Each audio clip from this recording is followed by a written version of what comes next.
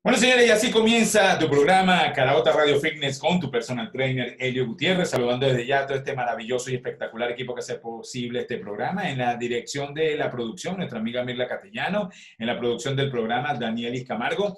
En los controles, Jaylin, el pana, el coquetón mayor, colocando la mejor música para ti. Y que te habló con cariño tu personal trainer Elio Gutiérrez, código de barra 36005, productor nacional independiente 1462. Bueno, hoy estamos con las entrevistas espectaculares. Toda esta semana hemos tenido unas entrevistas maravillosas donde traemos siempre especialistas para cualquier duda, cualquier pregunta. Pero hoy tenemos a mi amigo el gran Haroldo. Haroldo Macareño. Macareño. Haroldo Macareño, él es traumatólogo. Y bueno, vamos a hablar un poco sobre cómo tratar las lesiones, eh, cómo prevenir las lesiones, pero vamos a hablar primero, Doc, este, de qué se encarga o qué es un traumatólogo. Bueno, básicamente, mira, Traumatólogo eh, es un término más que todo latinoamericano, ¿no? eso no existe en otros países. En otros países se refiere más que todo a ortopedista. Ortopedista. Ortopedista. Ok. Cirujano ortopedista. Sin embargo, el traumatólogo se define como un ortopedista que es especialista en fracturas, más que todo. Aquí en Venezuela eh, se divide en dos ramas, está la ortopedia y está la traumatología. Los ortopedistas básicamente trabajan malformaciones, niños pequeños, son las personas que hacen posgrados de ortopedia. Ok.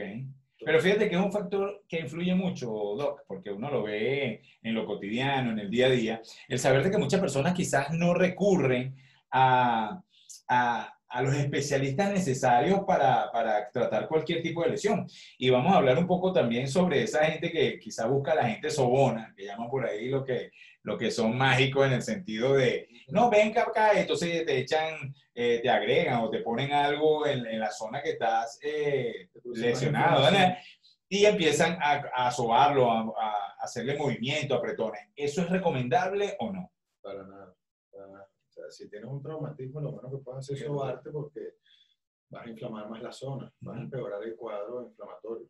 No, y aparte de eso, no se sabe qué, qué tipo de lesión tiene para llegar a hacer este tipo de movimiento. Pues. Siempre tienes que acudir a un especialista. Eh, dentro de la rama de, de, la traumatología existen numerosas subespecializaciones. Cuando una persona se acaba de graduar, es traumatólogo. Básicamente está en capacidad de tratar de fracturas. Sin embargo, a la medida que nosotros nos graduamos, pues hacemos una serie de subespecializaciones y eso es lo ideal, pues contratar un subespecialista cuando se trata de un hombro, una rodilla, una cadera personas que estén especializadas en esa área. Fracturas la puede resolver básicamente cualquier traumatólogo. No, y el día a día cotidiano de, de, cualquier persona, hasta mujeres en la calle que andan en tacones, para hablar un poco sobre las lesiones más comunes, ¿no? En el sentido de los 15, ¿ok? Que hay calificación de los 15. Me gustaría que hablaras un poco ¿Qué, ¿Qué, debe hacer una mujer? Porque normalmente eso siempre sucede con las mujeres, cuando eh, se tuercen el tobillo o caen en un hueco que quizás el, el, tacón se parte y se dobla en el tobillo y viene el esguince. Háblanos un poco cómo, cómo sería el proceso adecuado para, para tratar este tipo de lesión. Claro, mira, fíjate una cosa, los esguinces son, son y las fracturas de tobillo es lo más común en eh, las mujeres cuando están usando tacones. Disculpa que te interrumpa, pero fíjate tú que me has dicho que es mejor que se fracture y no que haya un esguince. No, ¿Qué opinas de eso? No, no, de, depende del grado del esguince. Depende del grado. Si no es un esguince grado 1, grado 2, es totalmente tratable. Anteriormente los trataban muchísimo con inmovilización, pero ya se sabe que, que los esguinces deben ser tratados básicamente bajo movilización, o sea, bajo movimiento, para que la cicatriz que se va a generar en ese, en ese ligamento sea dinámica. O sea, que no es recomendable eh, Inmovilizar. inmovilizarlo, más bien hacerle movimiento al Caminarlo, lo hay que caminarlo. ¿Qué tal?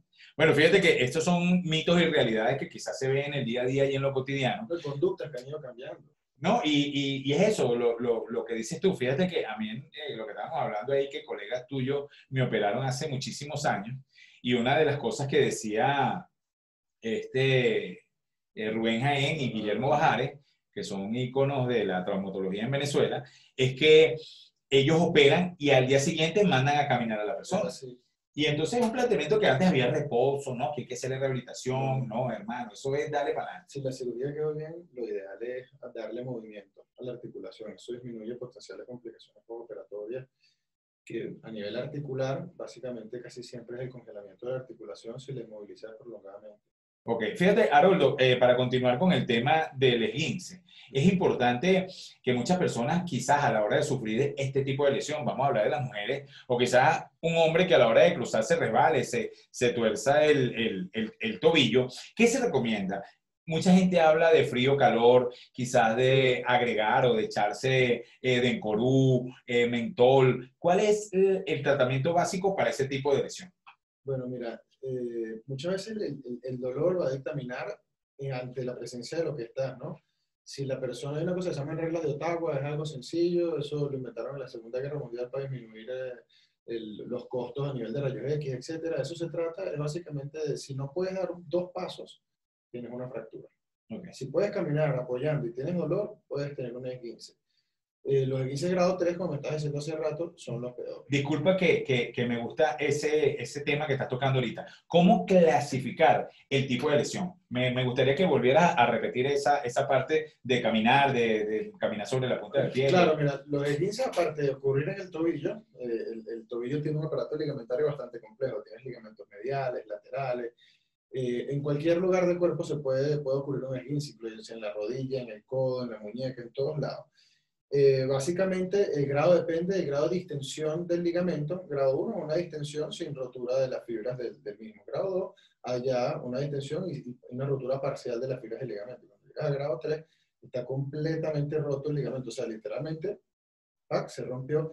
Muchos de estos esguinces ya terminan con una rotura ligamentaria y terminan en cirugía, ya sea en reparación o en aumentación del, Claro.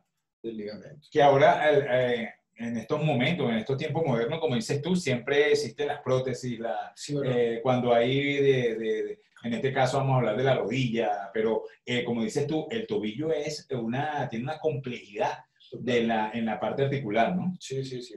Un poco de huesito ahí. Sí. No, bueno, como tú me preguntaste hace rato, era peor una fractura o, o, o un esguince, bueno, es mejor un esguince grado 1 y grado 2. Muchas veces cuando tienes un esguince grado 3 hay que hacer una reconstrucción ligamentaria, es mucho más complejo realizar eso a resolver una simple fractura malleolar con una platita terciocánea. ¿Qué te parece? Bueno, pero estamos hablando con mi amigo el doctor Haroldo. Eh, estamos hablando referente a todo lo que tiene que ver con lesiones, sobre todo ya tocamos el tema de las eh, lesiones eh, cotidianas que normalmente una mujer puede tener en la calle o un hombre a la hora de caminar, torcerse el tobillo porque se partió el tacón, o te lo digo y te hice el comentario porque a una amiga le pasó, este, metió el, el pie en, un- en una alcantarilla, eh, se quedó atorada y al final, bueno, tuvo un esguince, no sé qué grado, pero tuvo tiempo caminando coja. Pero esto es importante tocarlo desde ese punto de vista, Doc, que las personas no deben de tardar mucho en, en hacer eh, un tipo de evaluación, porque como dices tú, puede haber un, un esguince de, de diferente grado, quizás de complejidad. La presencia del morado dice mucho. Ok, Si se una equimosis, lo que llamamos los médicos equimosis, es morado literalmente. hay, eh, hay problemas. probablemente ahí tienes que hacer rayos X, eh, también depende muchísimo del dolor que presente el paciente, porque al, al haber morado puede ser o el ligamento roto o el hueso sangrante. Dice por aquí, ¿se puede volver a repetir un escape de líquido sinovial por un mal movimiento o caída? Un escape, me imagino, está hablando de rodilla, que la Me imagino, se- hablan de que, o sea, los pacientes siempre preguntan que se les derramó el líquido en la Ah, rodilla. eso, eso sucede, ¿no? Eh, eso, eso no existe, un derrame de líquido no existe como tal, o sea, lo que ocurre es una sinovitis, ¿no? Las sinovitis son productos de lesiones internas a nivel de la rodilla. Muchas veces cuando hay una sinovitis o una hemartrosis, o sea, que es que la rodilla se llena de líquido, es porque algo se rompió adentro. Muchas veces puedes tener un cierto grado de contromalacia o, o una lesión meniscal. Las lesiones meniscales se, van- se rompen un poquitico, liberan antígenos inflamatorios en la rodilla, se produce la rodilla, se llena de líquido y ese menisco queda roto. Ok. Pasas un tiempo hasta que ya se dejan de liberar eso, se desinflama la rodilla, te sientes chévere, haces otro ejercicio, haces algún esfuerzo, se rompe otro poquito más el menisco, se vuelve a llenar de líquido. Eh, por lo general, la, la, la hidrartrosis, que yo creo que es la pregunta que me están haciendo, Ujú. se deben a lesiones internas de la rodilla y deben ser estudiadas. Bueno, ya saben que cualquier tipo de lesión articular con caída o quizá un golpe o, o un mal movimiento con alguna máquina o, o lo cotidiano del día a día de la casa o de la calle, recuerden siempre ir a especialistas. Pero vamos con más música. Les recordamos que estamos conectados a través de www.caraotaradio.net, a través de arroba Elio Gutiérrez Live y arroba Caraota Radio. Bueno, por aquí estamos entonces con el doctor um, Haroldo. Bueno, eh, esta es la que preguntó fue Chiquitimar. ¿Qué te pasó, Chiquitimar? ¿Por qué te sucedió eso?